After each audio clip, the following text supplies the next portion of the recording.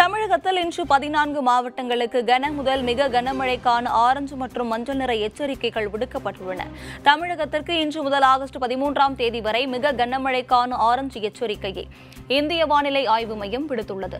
அதன்படி நீலகிரி கோயம்புத்தூர் சேலம் பெரம்பலூர் திருச்சி நாமக்கல் உள்ளிட்ட மாவட்டங்களுக்கு இன்று மிக கனமழைக்கான ஆரஞ்சு எச்சரிக்கை விடுக்கப்பட்டுள்ளது. நாளை நீலகிரி கோவை திண்டுக்கல் தேனி உள்ளிட்ட நான்கு மாவட்டங்களில் மிக கனமழைக்கான ஆரஞ்சு எச்சரிக்கை விடுக்கப்பட்டுள்ளது. ஆகஸ்ட் பதிமூன்றாம் தேதி நீலகிரி கோயம்புத்தூர் மற்றும் திண்டுக்கல் உள்ளிட்ட மூன்று மாவட்டங்களுக்கு மிக கனமழைக்கான ஆரஞ்சு எச்சரிக்கை விடுக்கப்பட்டுள்ளது. மேலும் கிருஷ்ணகிரி தருமபுரி திருப்பத்தூர் கரூர் திருப்பூர் சிவகங்கை புதுக்கோட்டை அரியலூர் ஆகிய மாவட்டங்களுக்கு கனமழைக்கான மஞ்சள் எச்சரிக்கை விடுக்கப்பட்டுள்ளது.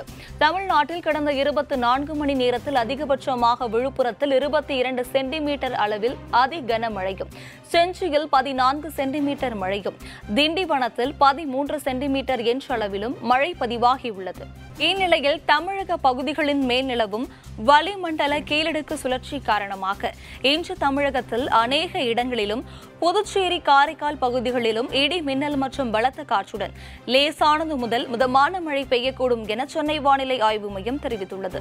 குறிப்பாக கோயம்புத்தூர் மாவட்ட மலைப்பகுதிகள் மற்றும் நீலகிரி நாமக்கல் திருச்சிராப்பள்ளி பெரம்பலூர் மாவட்டங்களில் ஒரு சில இடங்களில் இன்று கன முதல் மிக கனமழையும் ஈரோடு திருப்பூர் தருமபுரி கிருஷ்ணகிரி சேலம் திருப்பத்தூர் கரூர் அரியலூர் புதுக்கோட்டை மற்றும் சிவகங்கை மாவட்டங்களில் ஒரு சில இடங்களில் இன்று கனமழையும் பெய்ய வாய்ப்புள்ளது. மேலும் கோயம்புத்தூர் மற்றும் தேனி மாவட்ட மலைப்பகுதிகள் மற்றும் நீலகிரி திண்டுக்கல் மாவட்டங்களில் ஒரு சில இடங்களில் நாளை கன முதல் மிக கனமழையும் தென்காசி மற்றும் திருநெல்வேலி மாவட்ட மலைப்பகுதிகள் திருப்பூர் விருதுநகர் மதுரை திருச்சி அரியலூர் பெரம்பலூர் சிவகங்கை புதுக்கோட்டை மற்றும் தூத்துக்குடி மாவட்டங்களில் ஒரு சில இடங்களில் கனமழையும் பெய்ய வாய்ப்புள்ளது. சென்னை மற்றும் புறநகர் பகுதிகளை பொறுத்தவரை அடுத்த இருபத்தி நான்கு மணி நேரத்திற்கு வானம் ஓரளவு மேகமூட்டத்துடன் காணப்படும். நகரின் ஒரு சில பகுதிகளில் இடி மின்னலுடன் கூடிய லேசானது முதல் மிதமான மழை பெய்ய வாய்ப்புள்ளது.